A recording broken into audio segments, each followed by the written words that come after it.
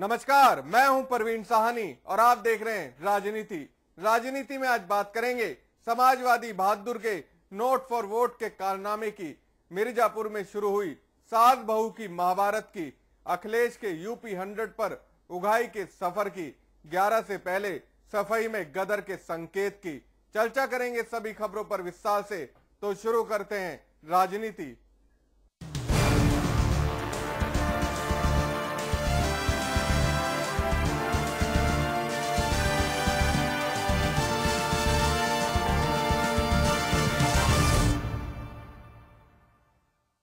चुनाव परिणाम आने से पहले ही सफ़ाई वाली सियासत फिर से उबाल मारने लगी। इस बार मुलायम की पत्नी साधना यादव सामने आई हैं। सियासी संग्राम के संकेत देते हुए अखिलेश पर कई आरोप लगाए और अपने बेटे को राज्यसभा भेजने की भी वकालत कर दी। क्या ये 11 मार्च के बाद गदर का संकेत है? 11 से पहले ही गदर के संकेत। सिर उठाने लगी घर वाली सियासत। साधना यादव का सीधा हमला। मुलायम की पत्नी ने ज़ाहिर किए इरादे। सियासी कोलाहल में मन पड़ी सफ़ाई वाली सियासत चुनाव परिणाम से सुनाई देने लगी है। मुलायम की पत्नी साधना यादव ने सीधा हमला बोलते हुए इरादे ज़ाहिर कर दिए। चुनाव परिणाम जो भी हो, परिवार वाली सियासत पैर पसारने लगी है। मीडिया के सामने खुलकर बोलते हुए साधना ने काफ़ी कुछ संकेत मेरे पिता ने, मेरे नाना ने ये कहा था कि कोई भी काम करो, कोई भी दान करो तो बताओ नहीं, चुपचाप करो। लेकिन मुझे लगता है अब वो समय नहीं है कि कोई भी काम चुपचाप किया जाए। अब बता के करना चाहिए। गांधी जी ने कहा था, कुछ करो तो बता दो। तो मुझे लगता है बता के करना चाहिए काम को। नहीं तो वैल्यू नहीं होती इंसान की। जो इतना सब कुछ मेरे लिए कह दिया, इतनी हिम्मत नहीं पड़ती लोगों की। और कोई बात ही नहीं थी हमारी और अखिलेश के बीच की। कभी आज तक हम लोगों की कोई कहा सुनी भी नहीं हुई, कभी उसने मुझे जवाब तक नहीं दिया। कभी मैंने उसे दूसरा बेटा माना ही नहीं। फिर भी लोगों को बड़ा मज़ा आया। भावनाओं से बहाव में साधना पूरे परिवार पर खुलकर बोली और अखिलेश पर अपमान का आरोप लगा दिया और कहा कि नेताजी के साथ ऐसा नहीं करना चाहिए था। शिवपाल को साइडलाइन करने पर भी साधना ने सवाल उठा दिया शिवपाल जी का जो अपमान हुआ आपको लग रहा है कि वो कितना खराब हुआ? आप कैसे देख रहे नहीं नहीं होना चाहिए था उनका अपमान। उनकी गलती ही नहीं थी। उनकी गलती नहीं थी। ये बार बार कहना कि उन्होंने ऐसा कुछ किया, कुछ नहीं किया उन्होंने। उनको तो जब अध्यक्ष बनाया गया था, तब भी उनको पता नहीं था, वो सफे में थे। और इन्होंने प्रोफेसर साहब ने जो किया, इनके साइन से बनाया गया था। इनको उसी समय रोक देना चाहिए था नेताजी को, कि अध्यक्ष नहीं बनाओ इनको। तो कोई बात ही नहीं होती। शिवपाल जी ने बहुत किया, नेताजी के बहुत काम किए, नेताजी की बहुत सेवा करी, जैसे एक छोटा भाई, एक बेटा करता है, उस तरीके से करी। नेताजी का भी बहुत प्यार है उनके ऊपर। शुरू शुरू में जब बहुत गरीबी थी तो उन्होंने मतलब किस तरीके से रात काटी है, जो जो मतलब दरिया बिछी होती थी, उनको ही ओढ़ लेते थे रात को। इस तरीके से रात काटी है तो वो व्यक्ति पार्टी के लायक तो पार्टी में रहने लायक तो है ही ना। पार्टी के पदों के लिए भी हकदार है वो। साधना यादव ने प्रतीक यादव को भी पॉलिटिक्स में लाने की बात कह दी और कहा कि वो प्रतीक को राज्यसभा में देखना चाहती है। आपको लग आपको नहीं लगता कि आपको भी एमपी या राज्यसभा वगैरह जाना चाहिए? क्योंकि आप अगर उससे ज़्यादा बेहतर लोगों को मदद चाहते हैं हमारा हमारा बेटा जाए प्रतीक जाए। हम हाँ हम नहीं चाहते अपने लिए। साधना यादव ने परिवार के झगड़े का असर चुनाव परिणाम पर होने की भी बात कह दी। कहा कि चुनाव परिणाम पर असर तो पड़ेगा वो टाइमिंग्स वो थे कि जब आप चार साल साढ़े चार साल मेहनत करने के बाद लास्ट के दो महीने में अगर आपके ये हो जाए तो कहीं ना कहीं डैमेज तो होता है पार्टी को। भी चुनाव पे तो करेगा अफेक्ट क्योंकि हम निकले हैं तो सब तरीके के लोग मिले कुछ फेवर के भी मिले कुछ फेवर के नहीं भी मिले तो चुनाव पे तो असर पड़ेगा। नतीजे कैसे देखेंगी अब आप? हम तो देखना अच्छा ही चाहेंगे लेकिन अब जनता बताएगी कि क्या है। क्योंकि जो भी था नेताजी का अपमान नहीं करना चाहिए था। और सब ठीक था पर उनका अपमान नहीं होना चाहिए था। किसी को भी नहीं करना चाहिए था। इतनी मुश्किलों से बनाई हुई उनकी पार्टी इतनी ज़िंदगी भर की मेहनत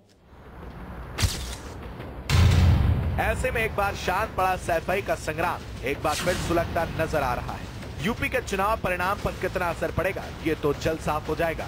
लेकिन चुनाव नतीजे इस लड़ाई को अलग दिशा में भी ले जा सकते हैं। क्या 11 के बाद सफ़ाई का संग्राम फिर से उठाएगा? Bureau report, Samachar plus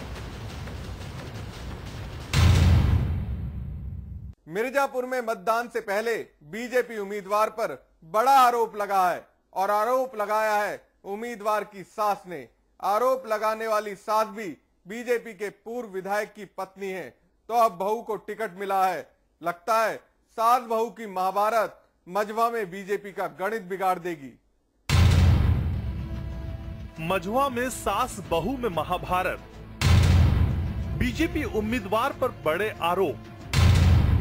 सास ने लगाया बहू पर प्रताड़ित करने का आरोप। मझुआ से बीजेपी उम्मीदवार है सुचिस्मता मौर्य।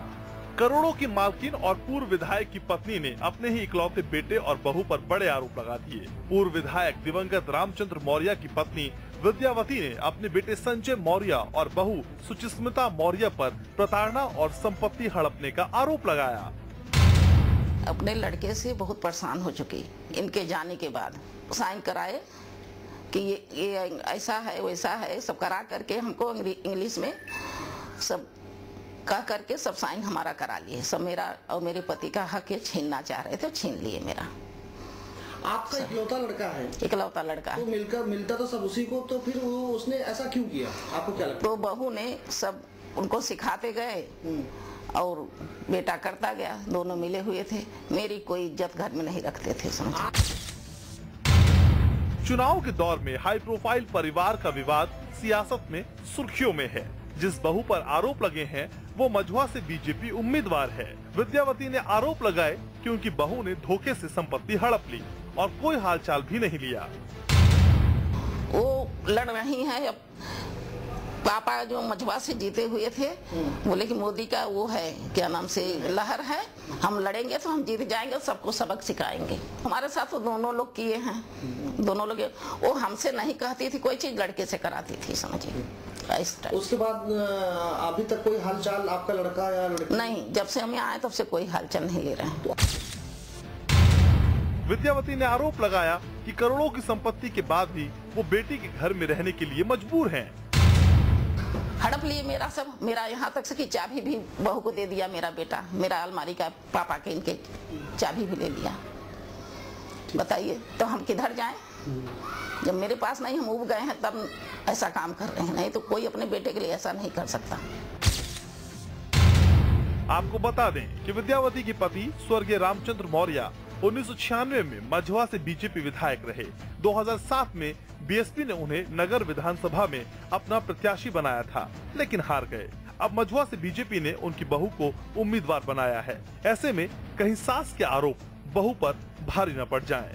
मिर्जापुर से समाचार प्लस के लिए जयप्रकाश की रिपोर्ट। गोरखपुर में मतदान हो गया, लेकिन सपा उम्मीदवार के कारनामे अभी तक सामने आ रहे हैं। गोरखपुर ग्रामीण से उम्मीदवार विजय बहादुर यादव के समर्थकों ने पैसे के साथ साड़ियाँ भी बांटी।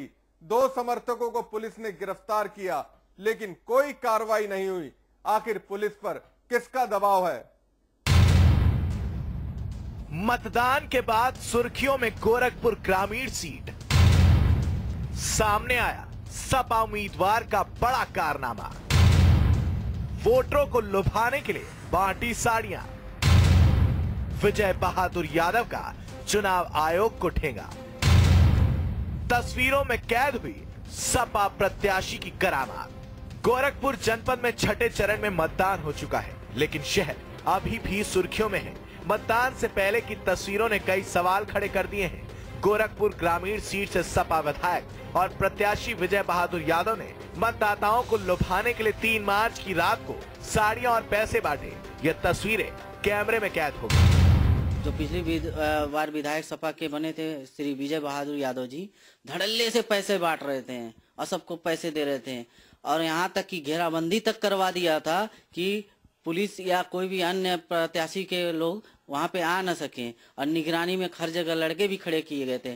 और बाकायदा लिफाफा में पैसे रख के बांटे जा रहे थे जिसपे राम भुवाल निषाद और उनके प्रत्याशी वीर विजय बहादुर का उनका फ़ोटो भी था और अंदर पैसा भी बाकायदा नोट दिखाई भी दे रहा था। और ये बहुत गलत काम किया उन्होंने, वोटरों को ये इस तरह से घुमाना अच्छी बात नहीं है। नौसड़ बहरामपुर समेत रसूलपुर मोहल्लों में सपा प्रत्याशी के समर्थकों ने वोटरों को साड़ी और पैसे बांटे। जिस लिफाफे में पैसे दिए गए, उस पर बकायदा प्रत्याशी का फ़ोटो लगा है। जिस लिफाफे में पैसा दिया जा रहा है, उस पर बड़े सुनहरे अक्षरों में लिखा है, यूपी को ये साथ पसंद है। अखिलेश और राहुल गांधी की उस लिफाफे पर तस्वीर लगी है। साथ ही साथ, प्रत्याशी विजय बहादुर यादव व सपा प्रत्याशी राम भुआल निषाद के भी फ़ोटो लगे हैं। यहाँ पर बहुत धड़ल्ले से पैसा बांटा जा रहा था, कपड़ा बांटा जा रहा था और ये सब सपा के लोग मिल करके बांट रहे थे, जिसमें छोटे छोटे पार्षद भी इसमें लग करके उनका साथ दे रहे थे। तीन तारीख को रात को रुपया पैसा साड़ी बांटा गया और ये सभी सेक्टरों में हुआ, दरियाचक में हुआ और पट्टन में सेक्टर नंबर एक में भी हुआ। विजय बहादुर के जितने समर्थक थे, पैसा साड़ी लेके जो है वोटरों को खरीदने के लिए, लुभाने के लिए पैसा बांट रहे थे। आप लोगों ने प्रशासन से इसकी शिकायत की प्रशासन से इसकी हमने शिकायत की। वहाँ दरियाचक में तो लोग आए वहाँ भगदड़ मच गया। पुलिस भी आई मौके पे लेकिन कोई रिस्पांस नहीं मिला। साड़ी और पैसा बांटते दो लोगों को बेली पार की पुलिस ने अरेस्ट भी किया था लेकिन कोई मुकदमा पंजीकृत नहीं किया गया। आखिर किसका दबाव है जो पुलिस कार्रवाई नहीं कर रही और प्रशासन आचार संहिता के सरेआम उल्लंघन के बाद भी शांत बैठा है? गोरखपुर से समाचार प्लस के लिए हरे दुबे की रिपोर्ट अखिलेश यादव ने हर सभा और रैली में यूपी हंड्रेड का बखान कर अपनी पीठ थपथपाई। जब भी विरोधियों ने कानून व्यवस्था पर सवाल उठाए अखिलेश यूपी हंड्रेड को बीच में ले आए। लेकिन अब सामने आ रहा है कि यूपी हंड्रेड की गाड़ियों में सवार पुलिसकर्मी उगाई में लगे हैं। अखिलेश के ड्रीम प्रोजेक्ट में भ्रष्टाचार की धुन। खुल गई डायल हंड्रेड की पोल। प्रधानमंत्री जी को पता ही नहीं है कि सौ नंबर से आजकल पुलिस चल रही है। और सौ नंबर हमने इसलिए शुरू किया है। पहले कई बार ये शिकायत होती थी। और आपने थाने में फ़ोन मिलाया तो फ़ोन नहीं उठता था। और कई बार अगर आपने फ़ोन मिलाया और एसओ साहब का दिमाग गर्म रहा होगा तो पता नहीं कौन सी भाषा इस्तेमाल कर दी होगी। इसलिए हमने सौ नंबर ये व्यवस्था की है। आप दिन में, रात में, सुबह, शाम, जब चाहो तब मिला लेना। ये फ़ोन उठेगा और घटना स्थल पे 15 और 20 मिनट में पुलिस पहुँच करके आपकी मदद करने का काम करेगी।